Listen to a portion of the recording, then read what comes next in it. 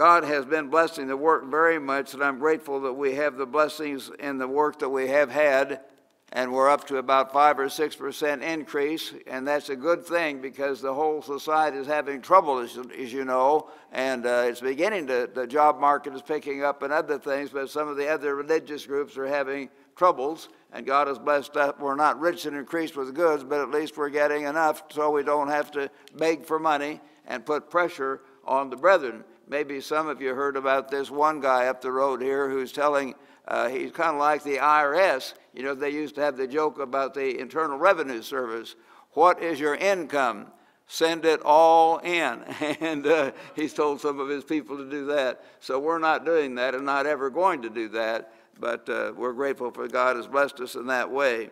So we want to be grateful for what God is doing.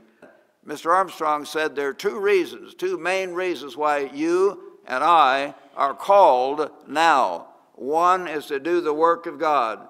We've got to get out the message of the coming kingdom of God. And God tells us that this gospel of the kingdom shall be preached in all the world as a witness, not to convert everybody. God's not trying to call everybody now, but as a witness. And then the end will come. That's Matthew 24 14, and other scriptures tell us to go unto all the world and preach the gospel and Mark 16 and a number of other places.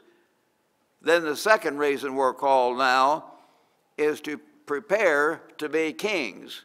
We've got to prepare in this life for kingship. And we are God, the ones God is relying on, in a sense. He's not indebted to us, but He's planned for us to be those kings and priests under Christ in tomorrow's world. And we're really supposed to have that as our goal. That should be one of the supreme goals in our lives you each one need to ask yourself, am I preparing as a realistic thing to be a king and priest? They're combined, teachers and rulers, as it was under Moses, a king and priest in the coming kingdom and the coming government of God. We're to preach the gospel of the kingdom of God. Back in Matthew, as Christ began his ministry, Matthew 4 23, well, you know, Jesus began to go through all the cities of Galilee, preaching the kingdom of God. That was the first thing it mentions preaching the kingdom of God, heal the sick, and so on. And that's what he did. His message was the coming government. Kingdom means government. And so we've got to understand that government. We've got to talk about that government. We've got to make that government so real in our minds and hearts that we can taste it and we should, brethren, to really think about that, think on the details of it, think of the things we've got to do. Are we going to be fully prepared to do everything under our own ideas when Christ comes? No. But we've got to know, and He wants us to know, He tells us to feed on Christ and to know the essence of it and to have that attitude He wants, then He can add the extra technical knowledge we'll need at that time. We'll need some technical knowledge, obviously. I mean, specific knowledge of how to make decisions and will certainly need, beyond everything, the right attitude of total surrender to God that whatever He says to do, once we know it is God speaking, we'll say, Yes, sir, and we'll do it. And a lot of people think they would do that, but they don't. Many people we thought were deeply converted in the work have simply fallen away. We've had a number of people I've even mentioned I should not have done, but leading men in the church in the past and worldwide. They just fell clear away. I thought they knew everything, but they just fell away they were not totally surrendered to God. They were not willing to trust God and His leadership in His church. They were not willing to believe in church government. Kingdom means government. And so we need to understand that our part in God's government now is preparing us to have a real part, a vital part in God's government tomorrow in the kingdom of God. It's a trial run. God says, if I tell this man through my human servants, as long as they see those people are true and they're right, they're teaching the truth, to do something within God's law, not something crazy, they'll have an opportunity and a willingness to say, yes, sir, and move. So the church of God and coming kingdom of God is a team. And we can move together to do God's work and will throughout the world and perhaps later throughout the entire universe. God's wanting us to have that attitude. He's wanted to build that attitude into our hearts and minds very, very much. So we need to be sure of that and be ready that we really are preparing. As I've said so many times, again, brethren, this book is the mind of God. Some of you are new. Some of you around the world who will be hearing this later are new to the truth. Please prove this to yourself. The Bible is the revelation of the way God thinks. It's the revelation of the way God is.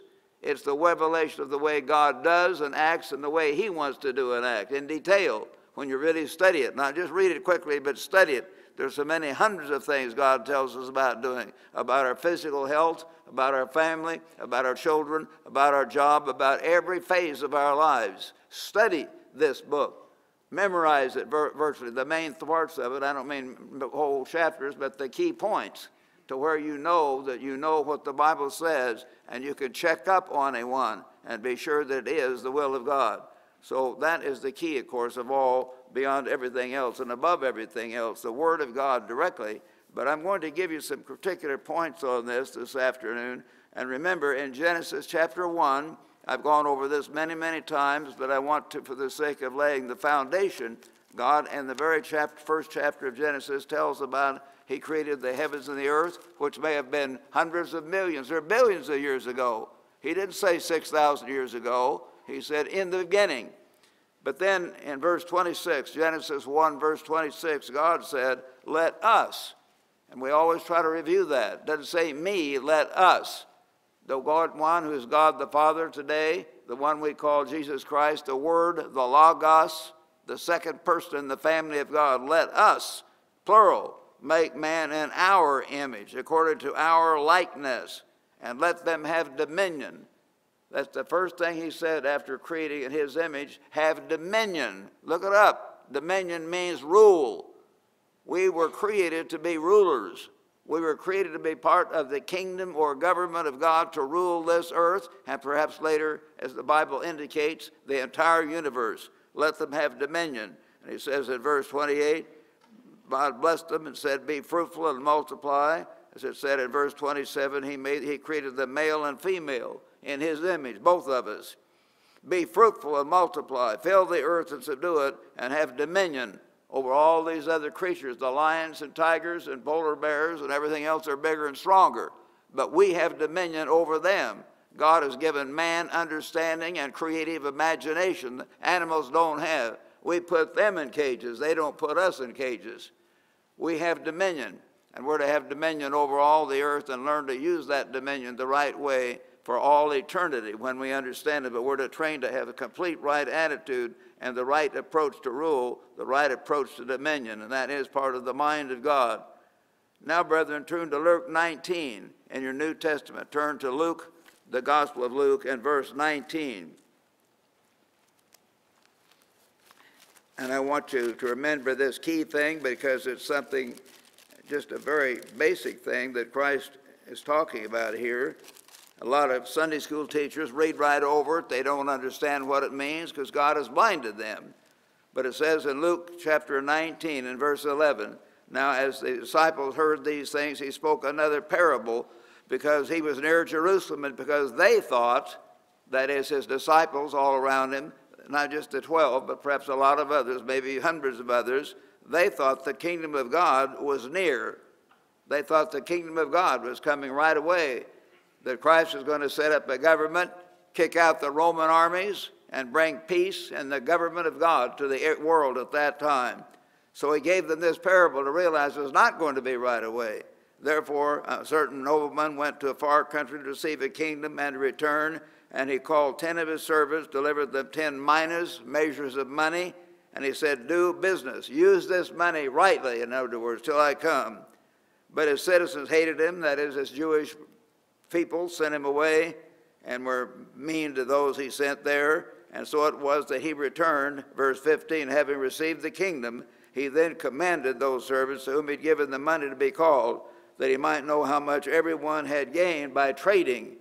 He's using a parable, but by using the minas, the money, the talents, the time that he gave them, how much did they use that time and that talent to serve him? Then came the first, Master, your money has earned 10 minas. I've really overcome. I've served you with my strength, my talent, my time, everything I have. I've gained 10 minas. He said, Good, good servant, because you were faithful over a very little. And remember, brethren, whatever you and I have is very, very little compared to what we're going to have. And we really need to understand that. God knows that, of course, but it's good for us to understand it.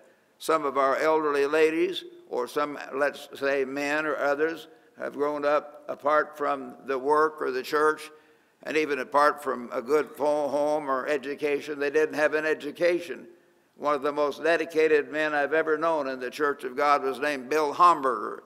You've heard me tell about him. He was a, a, a farmer, had a, a, a, farm in, in Texas, and he came out to Pasadena to help Mr. Armstrong. He brought himself, his clothing, his pickup truck, his whole life, and he just gave and gave and gave. He only finished the sixth grade. Some of you say, why didn't you ordain Mr.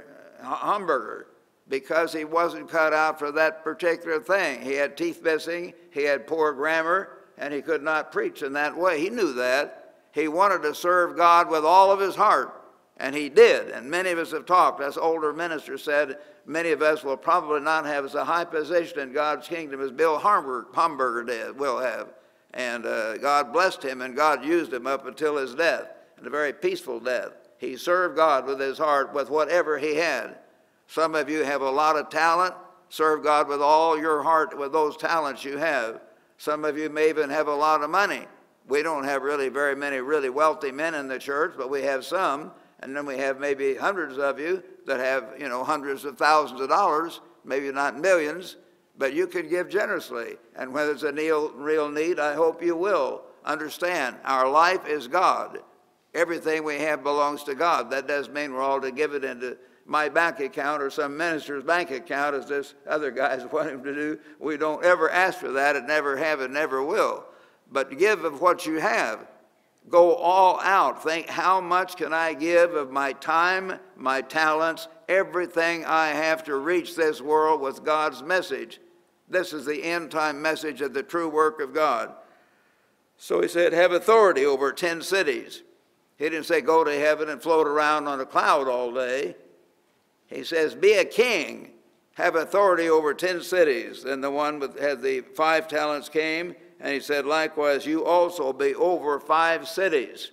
Throughout the Bible, that's the reward they were given authority, rule, and the coming kingdom or government of God. And we need to really understand the reality of that. I mean, literally, some of you and many of us in this room perhaps may have direct authority over cities, over what used to be Los Angeles. It won't be there that way anymore. It might be a great uh, a pit where the atomic bomb ended. But out there, if there's a new built city out there, or New York, Chicago, London, Montreal, Sydney, Australia, all around the world, some of God's people later will be in charge. They will be the mayor or the local king who's in charge of that particular city. So we've got to prepare to do that kind of job and know that it's very, very real. That's why we're called now to prepare for that kind of job. In Luke chapter 22, turn over to Luke 22 now, if you would, chapter 22. And you'll notice here uh, near the uh, end of this chapter, Luke chapter 22, and beginning in verse uh, 28, he told his disciples, Jesus said, You are those who have continued with me in my trials. They went through all the trials and tests with him. And I bestow upon you a kingdom, a government, just as my Father bestowed upon me, that you may eat and drink at my table in my kingdom. You know, the, the, the kings of old used to have a great big table and they'd have all their chief ministers and warriors there. So you'll sit at my table in my kingdom and sit on thrones, judging or ruling the 12 tribes of Israel. So that's part of the job that all of us will have along with those disciples in that general sense at least. We may not all be at one big table, but we'll have that kind of a job. And some of us may become very close to Christ in the way we interact. If we are very close to Christ now and interacting with Him and walking and talking with God as a very real living Savior that we have. But how are we going to do this? How are we going to do this? What attitude, what approach should we always have in this? Well, back in verse 24, there was a rivalry between them right there earlier in this chapter. The apostles were arguing over who's the greatest, who's the greatest. That's the way it is in this world. The politicians are all trying to beat each other. There was a rivalry. Who should be considered the greatest? And he said, The kings of the Gentiles exercise lordship over them, and those who exercise authority are called benefactors. And certainly that way. Some of you have not seen the old movies about Hitler and Mussolini and Stalin, but they were men who just crushed people under them, and everybody had to salute, say, Heil Hitler, or this or that, and kind of kiss up to them, as the kids would say, virtually worship them. But they didn't appreciate it. Most of them put down anyone, and anyone who had crossed them in any way, not rebel, but just not go along 100% would be put in prison or killed. But he says, not so among you, verse 26. On the contrary, he who is the greatest among you, let him be as the younger, and he who governs as he who serves. Brethren, you are to be one who serves. I can't serve you as much as I used to in some ways because I can't get my own food and I can't help my housemates, my son Jonathan and, and uh, Jonathan Bueno and others around the house to do things like I would do or used to do. I'm not able in the same way, but I'll try to serve the best I can as long as I'm here. You know, one of the greatest American presidents, I didn't agree with some of his liberal policies, but he certainly was considered great and did a great job, was as all you older people remember. I bet some of the kids don't even remember. Franklin Delano Roosevelt. Near the end of his speech, right after the Japanese attack, the address to the joint session of Congress, he said, We shall gain the inevitable triumph. So help us God. And he rallied this nation. He had the longest presidency of any American in history. He, had, he, was, he was president of the United States for three terms, plus about three or four months of a, a, a fourth term. So no president had as long a term as Franklin Roosevelt did. But you need to realize that even how great you are, you're not very great if you don't learn this principle of servant leadership. But Franklin Roosevelt, during his entire presidency, had to be helped in and out everywhere. They wheeled him around in a wheelchair. They had to help him stand up and sit down. They tried to help uh, disguise it as much as they could, but he was almost helpless physically. But he had that mind and he had the understanding of where he wanted the country to go. And overall, he did a very good job in a terrible situation during the Second World War. So I will carry on, and I know that if anything happens to me, Mr. Richard Ames is not near as weak as I am. He will carry on, and he and Dr. Winnail and Mr. Gerald Weston and many others of our leaders, all our leaders here, frankly, have been extremely loyal, supportive. They want to carry on the same way that we were guided by Jesus Christ and to a certain extent by Mr. Armstrong and those of us who studied directly under Mr. Armstrong, we do not worship Mr. Armstrong. He made mistakes.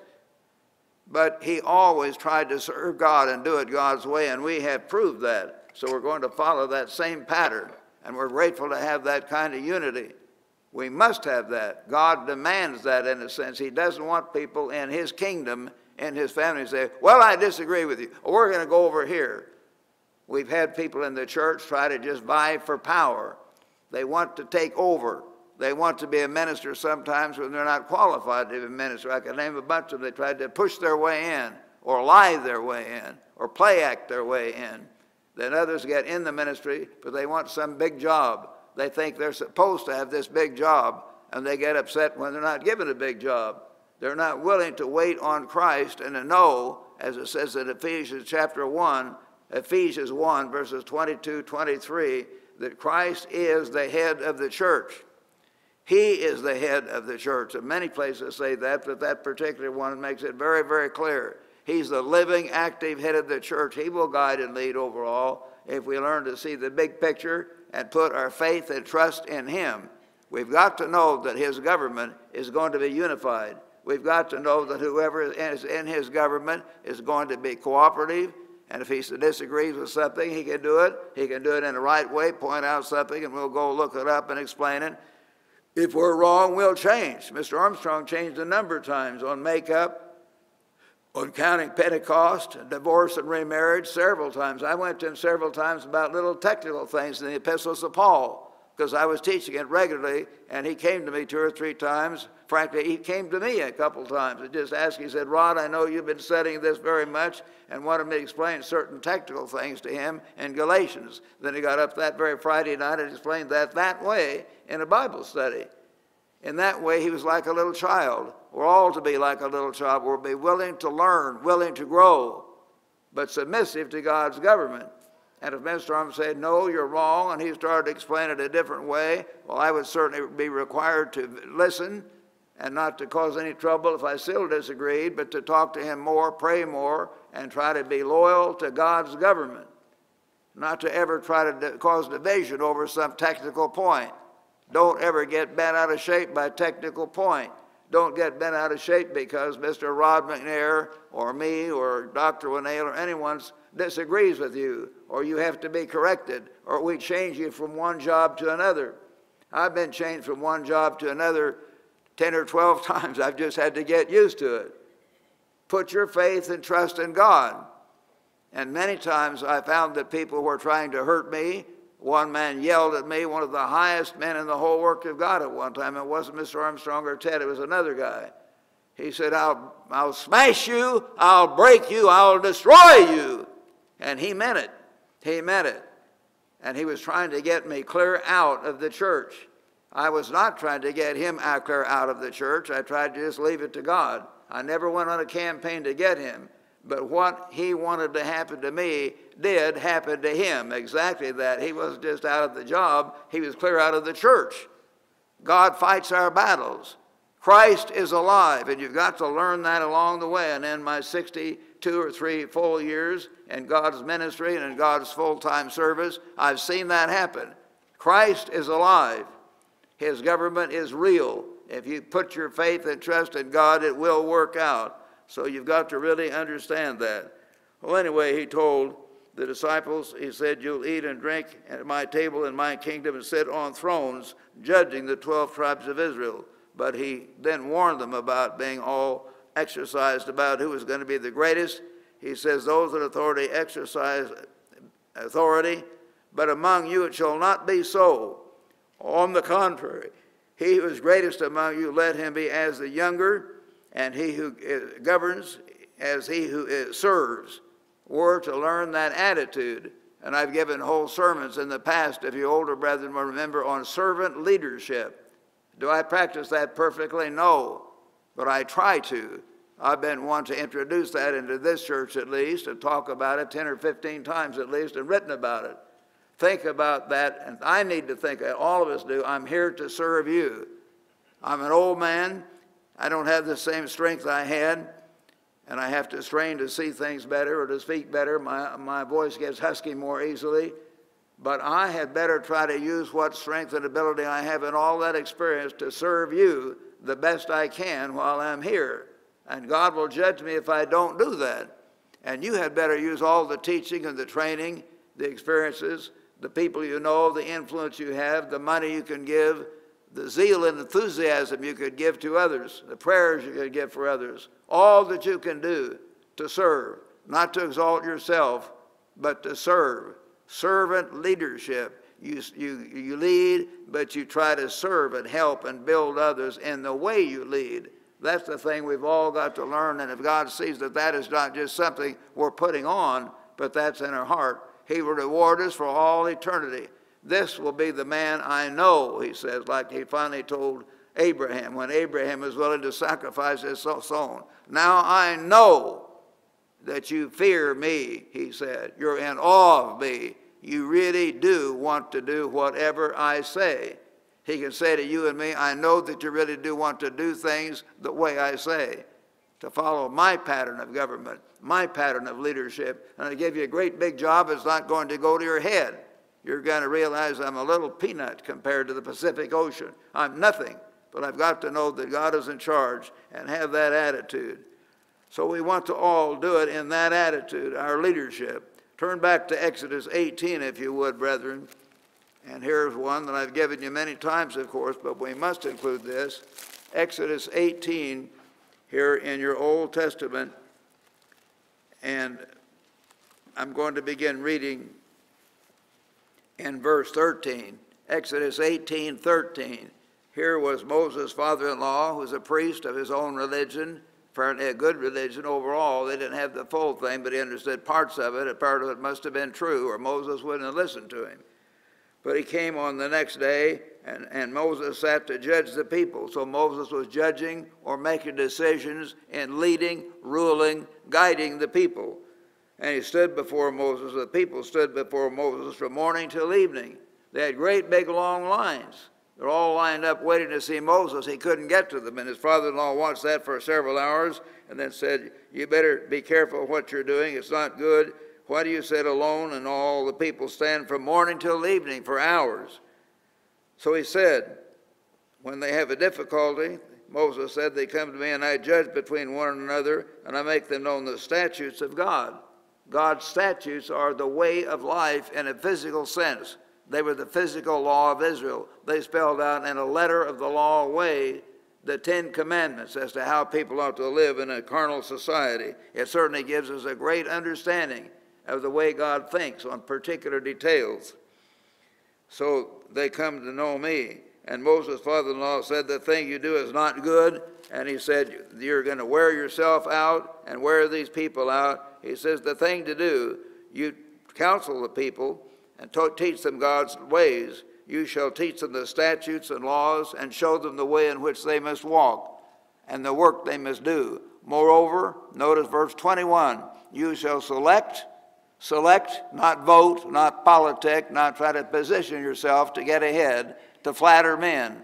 But you, Moses, the leader, shall select or appoint able men, capable people, able men, such as fear God, that have the awe of God, which is the main first thing he always mentions. Men of truth, not playing around to get what they want, but men of truth, hating covetousness, not people who are giving themselves great big salaries or great big huge mansions or uh, things that are not right, taking advantage of others. And appoint these capable men rule over rulers over thousands, hundreds, fifties, and tens you find later King David did do that. I don't have time to, you know, read all these scriptures, but look it up. And let them judge the people.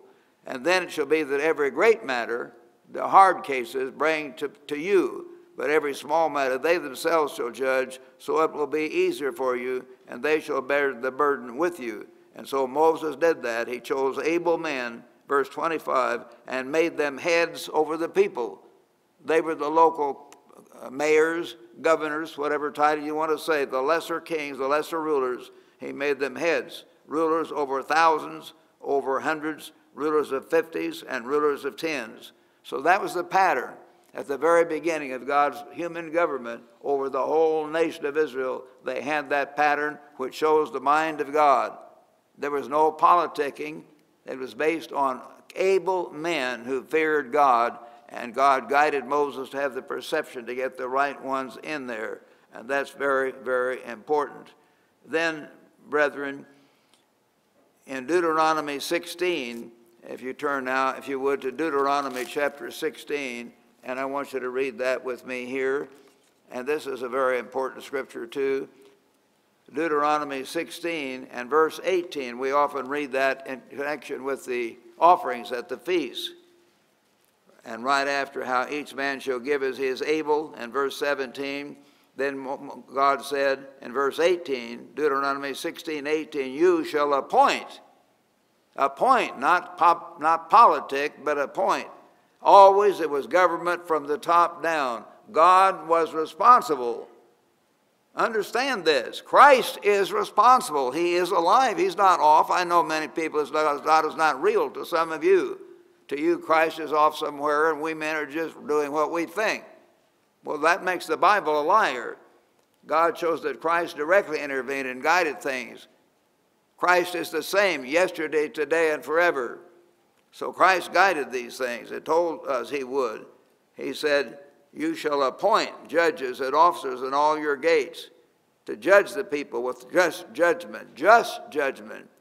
You shall not pervert justice. You shall not show partiality, nor take a bribe, for a bribe blinds the eyes of the wise and twists the words of the righteous. You shall follow, notice, you shall follow what is altogether just, that you may live and inherit the land which the Lord God is giving you.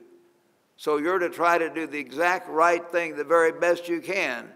Is the government always going to be perfect? No, nothing in this human life is perfect. But overall, that is the best government if God is involved. And God is involved in the very church where God's work is being done. You better believe He's involved in that. I base my life on that. And I based my life on that for years, as my older brethren and friends will remember, when I was not always popular. I was not always the chief leader, where several men tried to get rid of me, tried to put me down, tried to send me away. Was I teaching anything different then than I am now? No, I was not. But there was a lot of politics and backstabbing down through the decades, and you had to wait on God. In the end, God will take care of it. He is in charge. And you need to know and know that you know that. Did I make some mistakes? Oh, yes. I used to be too pushy. That's the only one big thing. I never committed adultery. I never was lying and cheating and stealing or trying to kill people. But I made the ministers get in too many visits and pushed them at times too hard, which I've later repented of many times with tears in my eyes. I didn't understand it. I gave them the same pattern that Mr. Armstrong gave me, but I was not able to realize that when I had to get in so many visits every day, when I had to fill in a report, the churches were much smaller. Later on, the churches got bigger. They had two or three churches, and they couldn't do all those things in the same way. It took me a while to wake up to that. So we've never had that in the living church of God. Right away, I appointed Mr. Carl McNair, who was very experienced and very loving and, and wise as the, as the director of the ministry in the Worldwide Church of God, in the Living Church of God, I mean. And since then, we've had Dr. Winnail and so on. We've had a very fine ministry overall. But we don't have that approach. But we all make mistakes. But no one was ever asked to do something bad. It's just that there were problems. We all had problems, but we had to wait on God, and He helped us all learn lessons through this process. So understand that. In Deuteronomy chapter 17, brethren, he says here in Deuteronomy 17, in verse uh, 8, he tells in this kingdom of God here, in the physical kingdom, if matter arises too hard for you between decrees of blood guiltiness, between one judgment or another, then you shall arise and go up to the place which the Lord your God chooses, and you shall come to the priests, the Levites, and to the judge who is there in those days, and inquire of them they shall pronounce upon them the sentence of judgment. He says, have faith in God's government. Christ was their God. He's called in 1 Corinthians 10, verse 6, He was the rock of Israel. He was the one behind this government. And you shall do according to the sense which they pronounce upon you in the place where God chooses, and you should be careful to do according to all that they order you. Then he says in verse 12, the man who acts presumptuously and will not heed the priest who stands to minister there before the Lord or judges that way, that man shall die. So if he just defies, that was in the Old Testament. Obviously, we don't do that today, but it was very serious to God. Very serious to God. They were to do what God said in his government. And this is in God's word. And all the people shall hear and fear and no longer act presumptuously and I better be careful not to name names, but I can remember a number of ministers in the old days fighting Mr. Armstrong and saying, You're not right, we disagree with you. And where do they all end up? Often they just left the church and just disappeared.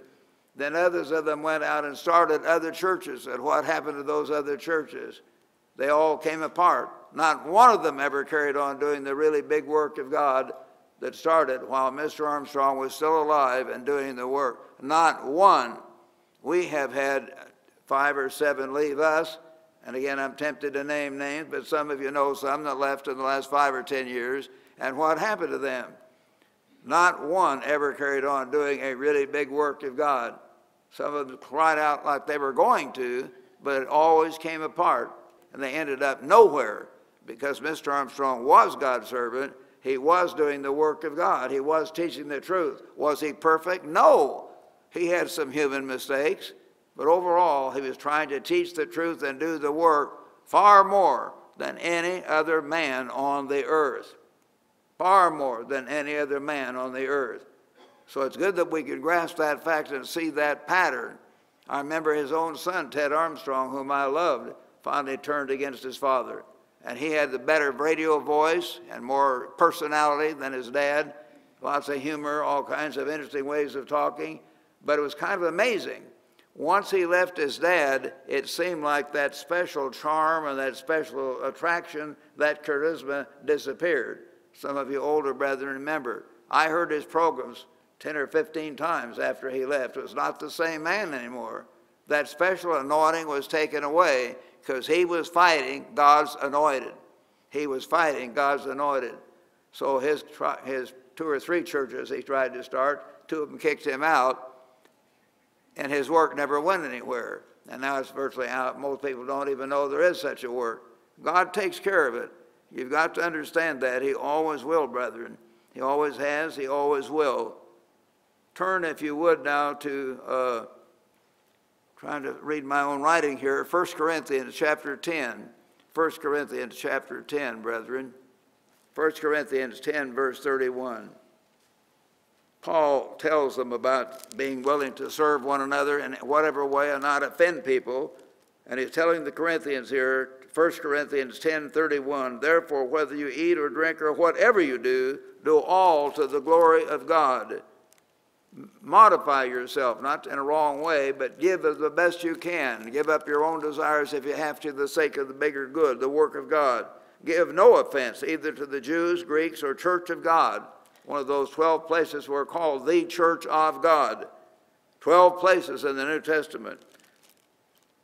Just as I also please all men in all things, not seeking my own profit, but the profit of many, that they may be saved. We are to see the profit of others. We're to help them. We're to correct them, yes. You ought to correct your son, correct your daughter before it's too late. Not because you don't like them, but because you do like them. They need it. And God's people sometimes have to be corrected. If it's done in love, in wisdom, that's what God wants. But whatever you do, do it that they may be saved. Chapter 11 Imitate me just as I also imitate Christ. The King James says, Follow me but the Greek is better translated as it is in the New King James here imitate me. Follow Paul. Imitate Paul. and all these examples, he gives you all kinds of examples about church government all the way through the New Testament.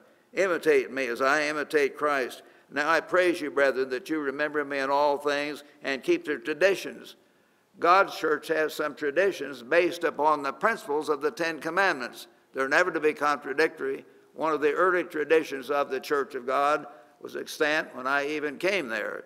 That tradition was not directly in the Bible, but was based on the principles in the Bible to honor God and to glorify God in your body. And Mr. Arm told the whole church he was, got, was not kicking people out because of it, but we were not supposed to, to, to smoke because he'd already found out way back before the cigarette companies admitted it that smoking was very dangerous and smoking would destroy the human body. And if you read articles, you know that lung cancer due to smoking often is one of the most slow, painful, agonizing deaths that people go through because of what? these tobacco growers, the tobacco manufacturers, the cigarette producers up here in this state and Kentucky and elsewhere, often they've been the very high deacons and elders of whole major church denominations. They were killing people, and they knew it. They weren't stupid. They finally had to admit they were producing a killing product, a product that killed and caused others to die a torturous death. The love of money is not the root as it is in the uh, Greek. The love of money is a root. Remember 1 Timothy chapter 6. The love of money is a root of all evils. It's not the only root, it's a root of all kinds of evil. So you have to know why a lot of these people do things. Some of them know better, but they're not close to God. They don't let their mind dwell on how much damage they're doing. That tradition was good. Keep the traditions as I delivered them to you, that the head of every man is Christ. Christ is our head, and the head of the woman is the man. Now, if any of you ladies are here, I don't mean to offend you, But we have a whole nation here full of women liberals, and they want the women to be exactly like men. And even Mr. McNair was telling the young women here to be sure you signed up as a conscientious objector, because if they have an all-out war, they may start drafting you, or drafting your sister, or drafting your daughter right into the military. But you better understand, you better follow what God says. The head of every man is Christ, the head of a woman is the man, and the head of Christ is God. So you understand the leadership God has put in the family, the leadership that God has put in the church. Paul says, I do not suffer a woman to preach or be an authority over the man. And God makes that very plain. I don't want to offend anyone. I'm just saying that if you all in this church, you women as well as men, are going to really follow the God of the Bible, you're going to say, Yes, sir. I used to say this as some of us grew up back in the Midwest. I'm sure other states did it but we boys would say, we're from Missouri, where men are men and women are glad of it. and, and, they were too. Most of our girlfriends and mothers wanted us to be real men, not wimps, not nincompoops afraid of our shadow. We're not to be like that. And most of you women feel that way, I'm sure. But there are lots of your sisters, so to speak, other women in the world, as you know, they don't want that. They want us all to be the same. And then in chapter 6, Go back to 1 Corinthians 6, if you would. And here's another direct instruction I've given you many times about government. 1 Corinthians chapter 6 and beginning in verse 1, Paul tells the Corinthians in God's inspiration, dare any of you, having a matter to go against another, go to law uh, before the unrighteous and not before the saints. How dare you go down the street and try to get some worldly judge who may not even believe in God to make decisions where our whole church ought to be learning? And again, this is not real. You say, well, I don't want Mr. McNair making decisions about my life. I don't want, you know, whoever to be Mr. Ames or me or Dr. Winnail or Mr. Uh, or Mr. Wakefield or anyone else around. Are they perfect? No, they're not perfect. No, I'm not perfect either. I'm the old guy. I may be old, but I'm sure not perfect, as I'm sure you all know. But will you trust us? Is God real enough to you that you trust us to counsel you if you have a real problem in your family or a problem with a brother or whatever, as to go rather than going down the world to some worldly court? You say, Well, I know your faults. Well, you don't know his faults. This guy down the road, he may be an atheist, an agnostic, he may be an adulterer, cheating on his wife regularly. He might be a homosexual. You don't know who he is. You're putting your life in the hands of man, and you are forsaking the government of God. Your whole life, brethren, really. I've mentioned these things, but I want to mention a little bit more directly and put it right in your face where you can get it. You either learn to trust God's government and His church now, or you're not going to ever follow it in God's kingdom. And if you completely mistrust it, you're not even going to be in God's kingdom. I mean that. You've got to learn to understand and believe in and practice the government of God. I know there are people in some of these other groups that just vote and politic and go their own way. They throw out government. Yet the whole message your tithes are going for, the whole message your prayers ought to be preaching for, is for God to send His kingdom, His government back to this earth based on these principles I've living you. And so, in that sense, our whole church should be based on that government. How can you go a different way? How can you say, Christ, I don't trust your leadership, I don't trust your government, and then the very next few days or years, when Christ comes back, you're going to have to be teaching and a key figure in a different government? No, it doesn't work that way. It does not work that way. You need to learn to respect Christ's leadership and follow that government now in this life, or you're not going to have a very big job in God's kingdom later, if, if any job. Perhaps you'll repent. Maybe you're not converted, or you'll come up in the great white throne judgment, and then you'll have one. But you have to wait an extra thousand years to get there. So let it be real to you. The government of God is something we're preparing for, and we've got to really respect that and realize how real it is. He says here, uh, coming back then to uh, losing my place here, coming back to 1 Corinthians chapter 6, he says, Do you not know that the saints will judge the world? Verse 2 And if the world will be judged by you, are you unworthy to judge the smallest matters? we are training to judge the whole world. We're training to help Christ rule the whole world and perhaps later the whole universe. That's our, our training. That's why we're here. That's one reason we're called now rather than later. Do you not know that we, that is, we in God's church, he doesn't say just the apostles. He's writing to the whole church of God at Corinth, where some of them were drinking too much on the Passover and got drunk. Some of them were speaking in tongues and showing off, whooping and hollering in a wrong way. Some of them were doing all kinds of things. Eh, some said, I'm a Peter, I'm a Paul. They had all kinds of human problems in that church. But he says that do you not know that the saints will judge the world? And do you not know, verse 3, that we, the Corinthians, and we in God's church, shall judge angels? We, we're human. But with God's Spirit and growing in this understanding, we will judge the angelic host. We're going to give that, be given that kind of power. How much more things pertaining to this life? We've got to trust God to guide His ministers, to guide His leaders, whom He puts in, and he shows by the fruits who is preaching the truth, who is doing the work, and who is teaching and practicing the government of God. And let me say this again to any of you who are new. I say it maybe too much, but I want you to get it. If you're looking around now or any time what to do, you should please for your good, not my good. I may not be here another year or two. Understand that. I know that. For your good, brethren, you had better prove to yourself four things. First of all, you better prove that God is real and the Bible is His Word. But then you'd better prove to yourself who is preaching the Bible more correctly, more thoroughly than anyone else on earth. Is it the Catholic Church? Is the Baptist, Methodist, the Roman Mormons? Who really understands this book? Who makes the prophecies come alive as part of our very time today? Who's explaining all the rest of it in a way you can prove right out of the Bible? It's the Church of God, and you better prove that. Secondly, you'll have to understand and prove to yourself, second point, who is doing the work? Where is the work being done more thoroughly? Who is bringing in more responses than anyone else on the earth and preaching the gospel of the kingdom of God? You can check up and prove that if you want to. Do it. Don't be afraid. Do it. Nobody's going to get mad at you. Find out those things. And thirdly, who is teaching and practicing the government of God more thoroughly? not perfectly, but more thoroughly and more correctly than any other church. When you do it properly, you'll undoubtedly find out it's right here. And you say, You're human. You better believe it. We're all human. There aren't any spirit leaders directly, spirit beings in any of the churches.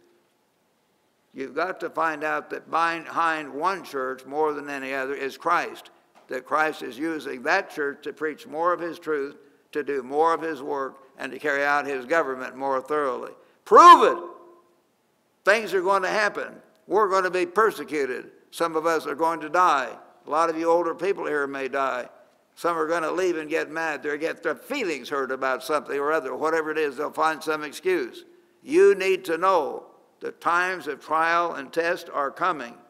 And you need to know where Christ is working. So I hope that you'll really prove those things to yourself very, very much, brethren. You need it. And I hope for your sake you'll do it, not my sake. In the Old, no, I want to read one other scripture here. I put an extra note in here to read Titus. Turn with me back to the book of Titus, if you would. Titus, Paul's letter to the young evangelist Titus, chapter 1, and beginning in verse 4. To Titus, my true son in our common faith, grace, mercy, and peace from God the Father and the Lord Jesus Christ. You'll notice, by the way, there's no mention of the Holy Spirit. Never in any of these addresses. Always leaves the Holy Spirit out because the Holy Spirit is not a person. But just notice that every time Paul writes about it, never mentions it. So he said, For this reason, verse 5, I left you in Crete, that big island in the eastern Mediterranean. I was there back in 19, 1963, I guess, on this trip around the world, that you should set in order the things that are lacking and appoint elders in every city as I commanded you. Does that sound awful? Paul commanded them. They had government. He didn't say, well, you might do this. This is a nice, humble suggestion. I'm so humble, I won't tell you what to do. I'll just give you a suggestion, and you can take it or leave it. No, he didn't say that. He directly instructed them or commanded them, however you uh, read it, to, to do these things. He was God's apostle. So what he said, I want you to appoint, again, not have an election. That's what they did in the New Testament, too. Appoint elders in every city as I commanded you and then he gives the description of, the, of elders who are to be uh, uh, very dedicated and not self-willed. I say, I want to do what I want to do, not self-willed, but willing to follow God's government, not quick-tempered, not given to wine, heavy drinkers, not violent, not greedy for money, but hospitable, lovers of helping other people and entertaining them, being good to them, and, and holy, self-controlled, holding fast the faithful word reading this book, studying this book, constantly guarding this book, protecting it, teaching it fully the best you can, as he's been taught, that he may be able by sound doctrine both to exhort and convict those who contradict. An elder has to have a strong enough voice, a strong enough personality, a strong enough conviction and character to put the gainsayers in their place when he has to to stand up against the gainsayers, to do battle if he has to in that way. So he should be a strong individual, and God tells us that in his word. Now back in uh, my comment on the super deacons we used to have back in the early days of Worldwide. Some of you older brethren, I'm sure Mrs. Murray will remember them, and Mr. and Mrs. Davis and others. We had super deacons there, and if an old lady pulled in the parking lot the wrong way, some of these super deacons say, oh, you move this is Mr. So-and-so's parking lot, some big shot. Super deacons are not, that's not the attitude God wants. If it's not breaking God's law or causing trouble or division, why, if someone comes and parks in my place, we just move somewhere else. And we should. We're not to be super deacons bossing people around or super local elders bossing people around in a wrong way. That attitude. We are all of us from our evangelists, pastors, elders, every one of us, to be servant leadership. We are to be leaders, but we're to do it in an attitude of how can I help you? I want to teach you. I want to help you. I want to strengthen you. I want you to have God's blessing. I want you to be in God's kingdom. And really mean that and do everything we do from that point of view to be that kind of an elder, that kind of a deacon. Now we go to 1 Thessalonians chapter 2. 1 Thessalonians, brethren, if you turn there, the first epistle to the Thessalonians.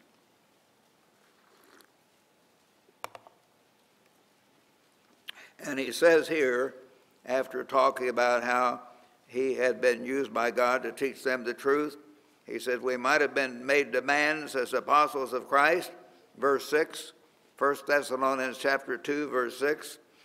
But he didn't try to go around making demands. But, verse 7, we were gentle among you, just as a nursing mother cherishes her children. And I might have been too pushy and too hard in my early ministry, but it was not my fault. It was God's fault that one thing happened. Not his fault, but he guided that. Somehow, people wonder how did we young men how did we come to be ministers? We were so young. How did it work out? Well, I didn't come into a church of 50 or 500 people where a whole bunch of them had been elders before me or older men. When I raised up the first church of God as a result of Ambassador College, the church in San Diego, my whole church consisted of only 12 or 15 people. Then we got up to 20 or 30 fairly fast. But at the beginning, the main membership was like one of the women that I've loved more than any other person, man or woman, in all my life. My old Methodist grandmother, who taught me and helped me so much. We had Mrs. Beischlein, Mrs. LaBouse, uh, Mrs. Uh, I'm going to forget their names now, practically never done, Mrs. Levy, and Miss Willette. I remember Big Bryce Clark was a friend of Carl. He was about six, two and a half, and 220 pound bull buck, and I was training him at that time and he was still new in the, he's a, bull, a leader in a logger, logging unit, that's what that means. But anyway, he came down with me one time and we were talking to little Miss Willette. I think she was about four foot 11 and 100 or maybe 90 pounds or something, little old lady.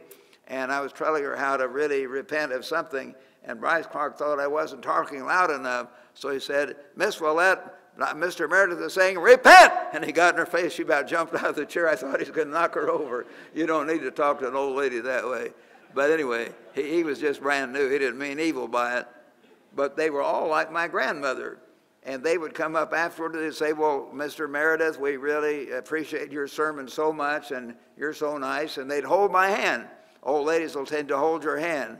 And so I let them hold my hand. I used to think, you know, don't let some other man or some younger woman, you know, might mean something. But they were all grandmothers, a whole bunch of them. And so I treated them with love like grandmothers. And that helped me to get started on the right foot, I think, because that was about two thirds of my early church.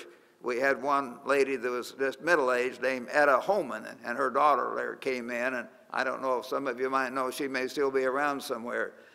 One man was named Harry Fram, the only normal, regular type man, and he was a, had been in the Navy, but he was a bachelor or something, and he was gentle too. But we loved each other. We're a little tiny group trying to hold things together and I didn't have to correct them or bawl them out. I was treating them like Paul says here, and I'm all glad, always glad that it got worked out that way, where I could have this attitude uh, toward them. So anyway, back here in in uh, First Thessalonians, he said, "But we were gentle, as a nursing mother, gently, lovingly helping these people." So affectionately longing for you, we were pleased to impart to you not only the gospel of God, but also our own lives, because you had become dear to us. And they were dear to me, these sweet old ladies who encouraged me. They would tell me how good my sermon was. I wasn't totally stupid. I knew they were grandmothers trying to encourage this young man. my sermons weren't that good, and I could figure that out. I was still learning, but they were so kind and so encouraging so affectionately longing for you, we were pleased to impart to you not only the gospel of God, but our own selves, because you become dear to us. For you remember, brethren, our labor and toil for laboring night and day. And Paul did that and did that and did that. And I've never done that for a long period of time as much as he did, undoubtedly. But I do remember we did a lot of that on the old baptizing tours because we knew it was the only chance we might ever get to see these people. So we lost sleep, we lost food, we lost all kinds of things on those tours to somehow get to those people. And I always look back on that, not as bad. I don't look back and say, wow, I could have been dating girls all that summer. I could have been going to movies. I could have been going to Redings Mill, this great big swimming pool we had in Joplin, or gone to the beach. I have never, ever thought about that I thought, well, that's bad. I missed all that. No, I didn't miss anything. I had a precious opportunity to serve hundreds of people across the United States on three or four major baptizing tours and talk to these people and love them and help them. Even if I lost food or lost sleep, so what? I was young and strong. It didn't hurt me at all. It did me a lot of good, in fact. But all of us can have that attitude all the time, not just some of the time. For you remember, brethren, our labor and toil, laboring day and, and night, not to be a burden to any of you, we preach you the gospel of God. You are witnesses, and God also, how justly and blamelessly we behaved ourselves among you who believe. As you know, how we exhorted. Yes, exhort means you ought to do it. You ought to go. Yes, that's not wrong. They weren't yelling at them, but saying, you know, Mrs. Jones or Mr. Smith, we've got to obey God to get in God's kingdom. We exhorted you and taught you in every way that you would have a walk worthy of God who calls us into his kingdom and glory. We're going to be called to the very government of God and the glory of God when Christ returns. That you would have a walk worthy of God who calls you into, not just up unto, but into his kingdom and glory. We're not just called up to see his glory, we will be in his glory. We will share that magnificent glory.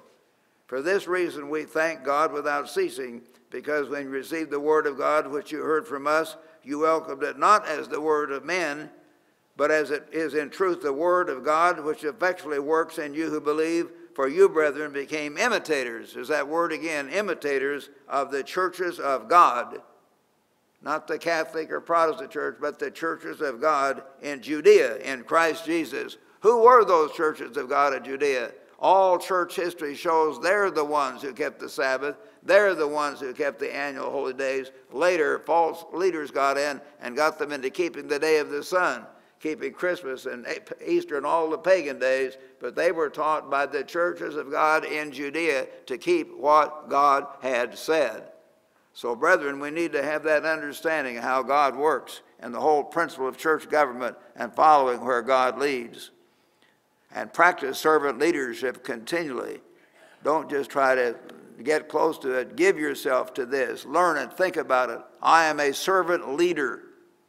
I am an ambassador for Jesus Christ to give, to help, to serve, and prepare to be a literal king and priest in God's coming government to help people.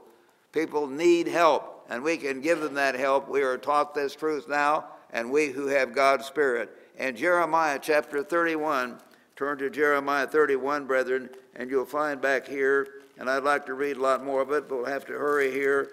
This is describing clearly, if you read the verses around at the time when Israel, that is, some of our relatives and friends who are not converted, if they live through the Great Tribulation, they're going to come back to Palestine, back to Israel, weeping and repenting. And so he says in chapter 31, verse 7 of Jeremiah, for thus says the Eternal, Sing with gladness for Jacob, shout among the chief of the nations. That's modern Britain and America and the English descended peoples. Give pr praise and say, O Eternal, save your people, the remnant of Israel. And then he says, verse 8, Behold, I will bring them from the north country. I will gather them from the ends of the earth when they're brought back from the concentration camps of the great tribulation. And so they'll come with weeping and with supplications, verse 9, I will lead them. I will cause them to walk by the rivers of water, and they'll not stumble. For I am a father to Israel, and Ephraim is my firstborn. He says in verse 12, Therefore they shall come and sing in the height of Zion, streaming to the goodness of the Lord, for wheat and wine and oil for the young of the flock and the herd. Their souls shall be like a well watered garden, and they shall sorrow no more at all. Wow! They're going to sorrow no more at all because the right form of government will be taught, the right form of government will be practiced under Christ. But we need to learn how that government works to reach out to people, to help them, to build them in every way we can. So I hope we can learn to do that and have that attitude. That's the attitude we need. That's the attitude we must have. Turn back to Psalm now, one of my favorite Psalms. Psalm 72. It's a description of God's kingdom the kingdom you and I are going to help Christ set up on this earth pretty soon, if we make it, if we could get it straight in our minds how real that is, and how real God is, and how real Christ's government is. Give your king the judgments, O God, and your righteousness to the king's son. He will judge your people with righteousness. See, with righteousness, justice, and righteousness. And your poor with justice the mountains shall bring forth peace, the little hills by righteousness. He'll bring justice to the poor of the people, not just the rich politicians, but the poor of the people. He will save the children of the needy. He will break in pieces the oppressor. He's not going to monkey around. He's not a little sissy Christ letting sidewise on a mule who won't do anything. He will do something, and we will help him do it with the power of God. He says a little later here, he shall have dominion, verse 8, from sea to sea and from the river to the ends of the earth. He's going to rule all over the earth. Verse 11, all kings shall fall down before him, all nations shall serve him, for he will deliver the needy when he cries. People are going to come back starving, hurting, in sickness, broken bodies, broken spirit, but he'll help them. He'll reach out to them. He will deliver the needy when he cries, and the needy are going to cry out and be hurting, and we're going to have to help them. We're going to have to put our arms around them physically, emotionally, and say, I love you. God is here. Christ loves you. He wants to help you. We are going to help you. There's a new world, the world of the government of God, the government under Christ. So all that's going to be done. The poor also, and help him who has no helper. These people's lives will be blown apart. Many of their relatives will be dead, their friends blown to pieces in the coming wars. He has no helper. He will spare the poor and the needy and will save the souls of the needy. He will redeem their life from oppression and violence, and precious shall be their blood in his sight. God is going to have deep concern and love for them. Verse 7 In his days the righteous shall flourish, and abundance of peace until the moon is no more. Until the moon is no more. The great God will give a depth of peace and joy such as the world has never known. Verse 18 Blessed be the Lord God, the God of Israel, who only does wondrous things, and blessed be his glorious name forever. And let the whole earth be filled with his glory. Amen and amen. That's our future. That's our opportunity. That's our calling to be part of that government, to help those people. But it must be built within our hearts, our minds, our characters now. So let's go all out, fulfill our calling, fulfill our destiny, and to be there with Christ and with many of our loved ones in the coming government of God, soon to be set up, a real government here on this earth.